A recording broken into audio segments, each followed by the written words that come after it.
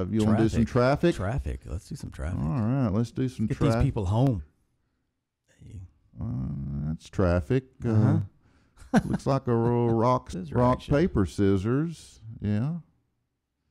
Yeah. Way to. That's a way to pass the time in Yeah. uh, in traffic, right? Yeah. Okay. Traffic. Yeah. From the Barside Jive Global Traffic Center, Global. Global, Global Traffic Center, and your Barside Jive Drive team. Well, Brad, we've got some trouble spots. Oh, okay. Where? Yeah.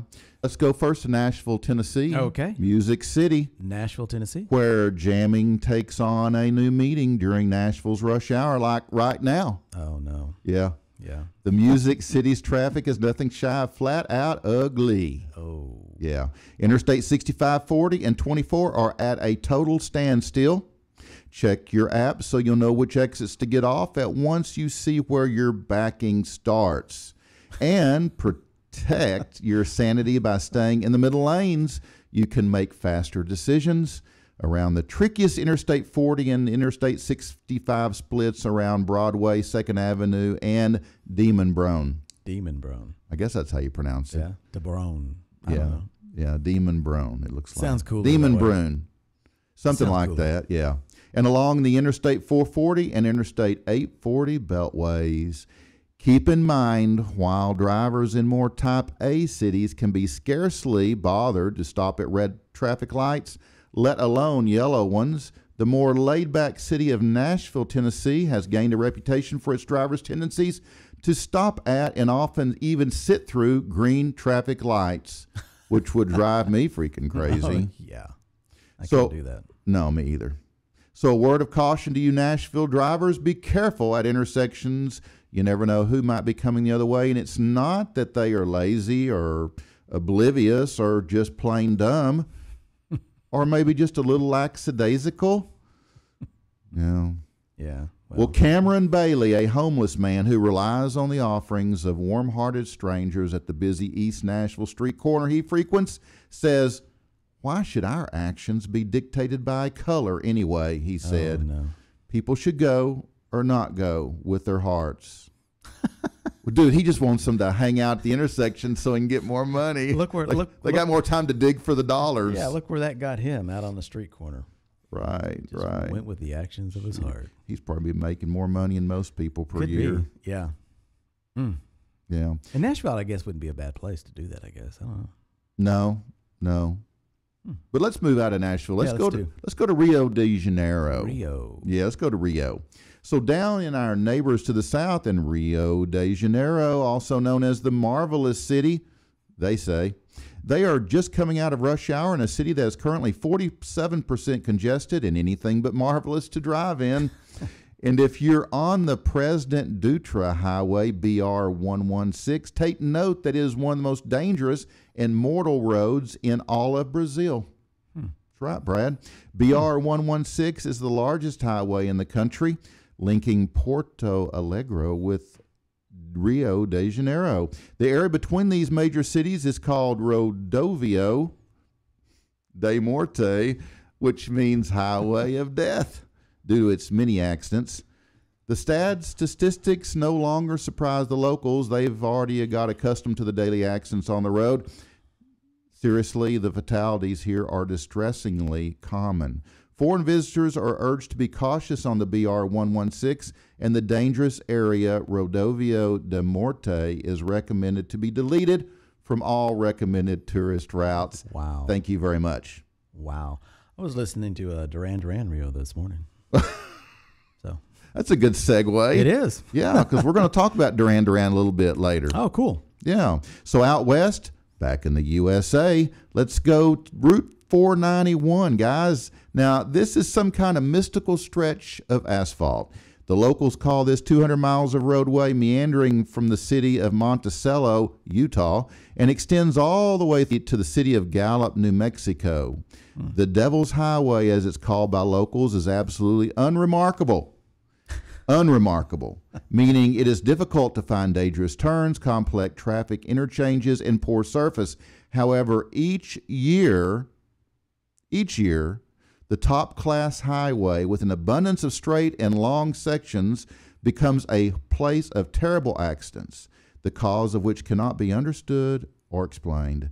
Many individuals who have experienced traffic accidents on this road tell extraordinary stories about an eerie black limousine. Hey. Yeah, similar to those that can be seen in the 1930s. This mysterious car charges mainly the trucks. Good. yeah. The, the local authorities now have not been able to find the offender. Uh, the motorists that travel this highway often express the fact that the mysterious limousine appears quite suddenly and disappears just as suddenly, transforming completely into thin air. The black limousine is not the only mystical hallucination faced by motorists here. Quite often, the reason for accidents are large dogs that attack the cars and also have a way of disappearing out of sight. That this is this Wow. This is true. big dogs. That is a big dog. It is noteworthy that during a road inventory, the mystical route was named 666. Ugh. Uh huh. On request of local residents, the Devil's Highway was renamed 491. But the renaming had no effect on the amount of mystical fatalities and accidents. wow. Remember that movie in the 70s, The Car? Yeah, Yeah, that's what it reminded me of. yeah, yeah. Yeah. That's cool. Christine, Yeah, Christine. There was Christine. but- Christine. There's been several. Mhm, but the car was it was that black car. Yeah, yeah. Wow, what a great movie. It was a good movie. Yeah. In fact, I saw uh, Christine was up on Netflix here recently. Really. Yep, yep, yep, yep.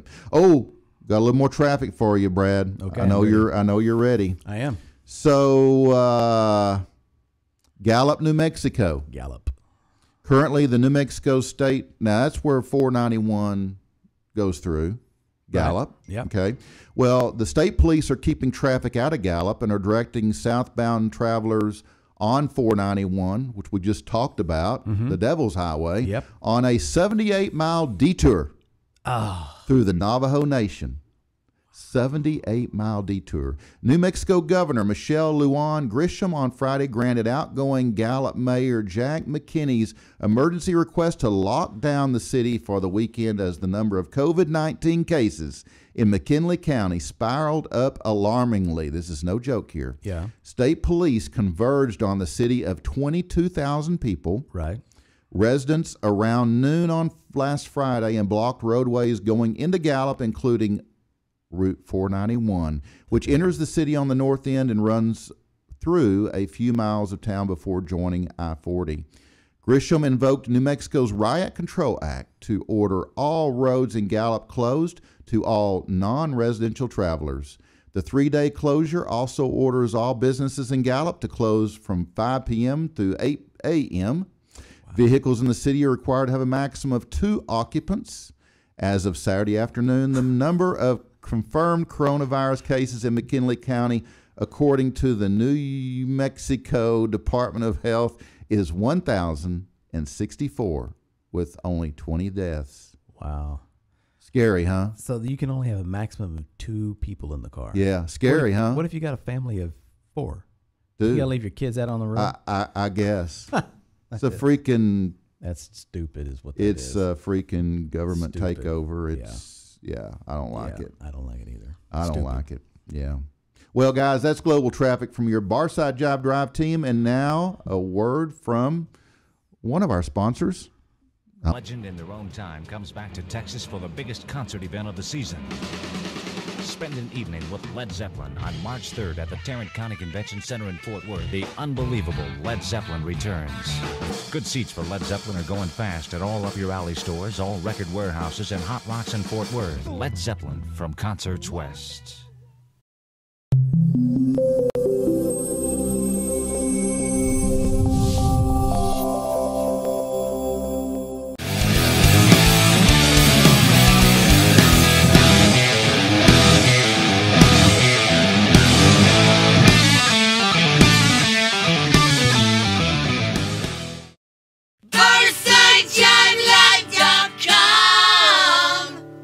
northsidejivelive.com. The zoo, the zoo gives you rock for the senses. For the senses, for the senses, for the senses. Lows that evolve into highs that pierce.